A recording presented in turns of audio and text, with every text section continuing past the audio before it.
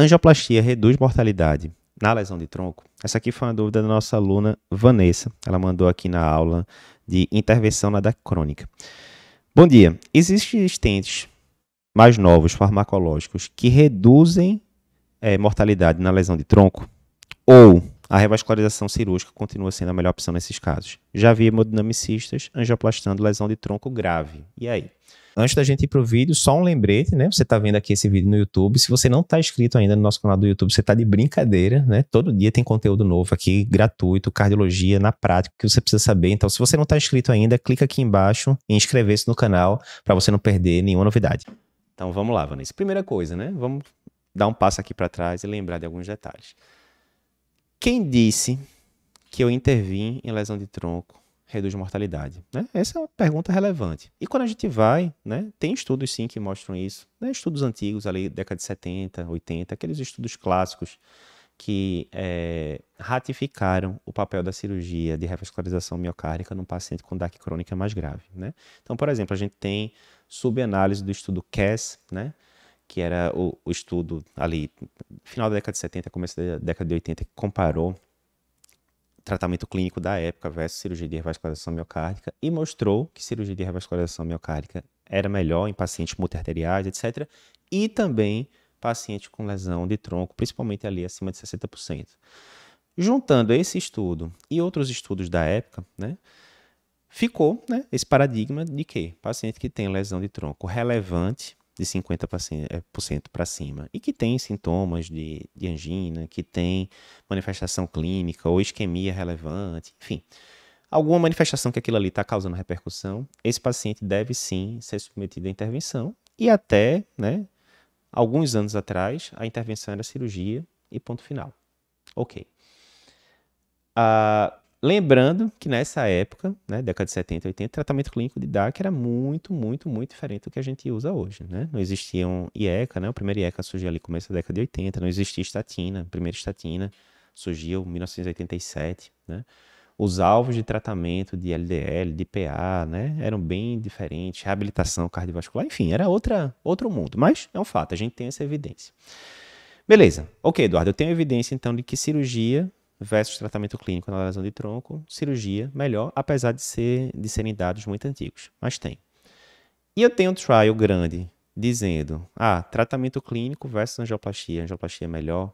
Não temos, pelo menos não que eu conheça. Né? Então, o que é que acontece? Uma vez feito o paradigma de que intervenção era o melhor caminho no paciente com lesão de tronco relevante, né? esse paradigma foi formado.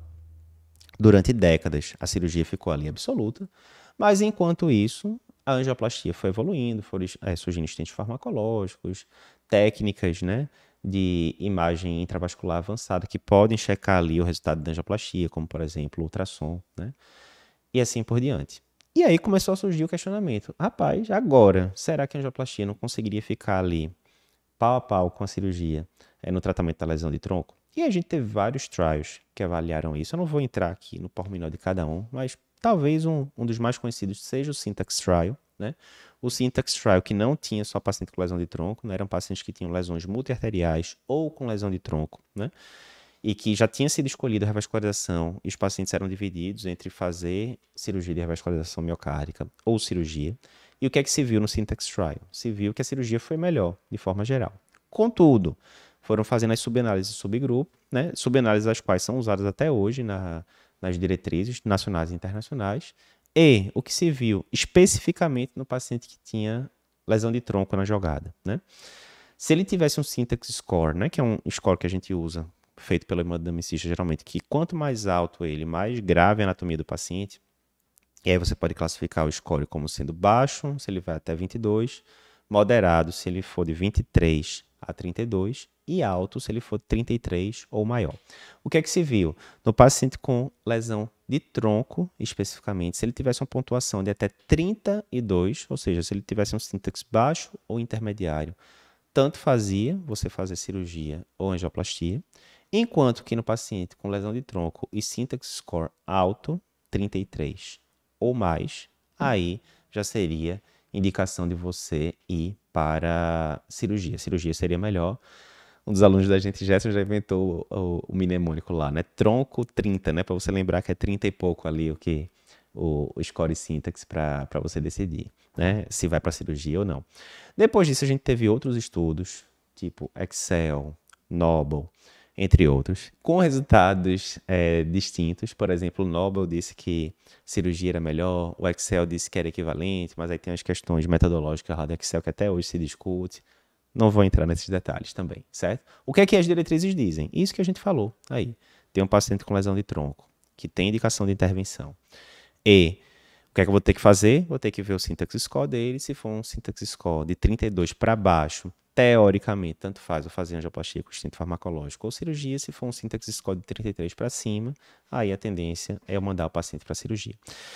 É, mas aí veja, a pergunta era: eu tenho evidência de que os estentes mais modernos reduzem mortalidade na lesão de tronco? E aí, o desenho ideal de estudo para a gente fazer nesse caso era: eu estou aqui com pacientes com lesão de tronco, e uma parte vai ficar em tratamento clínico, a outra parte vai angioplastar com estente moderno e tal, e eu vou ver se diminui mortalidade.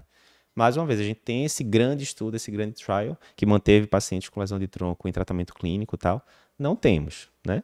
Mas, ao mesmo tempo, por extrapolação, né?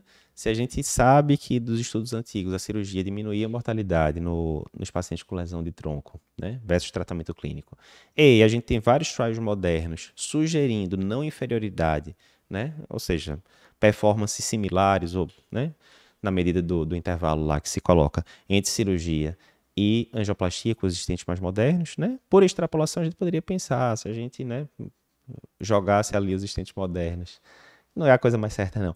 Mas se a gente jogasse assistentes modernos na, naqueles pacientes lá dos trials antigos, provavelmente teria diferença também. Mas é isso, a gente não tem aquela evidência direta, tratamento clínico versus angioplastia na lesão de tronco, né? Trial grande, desenhado para isso, com poder adequado.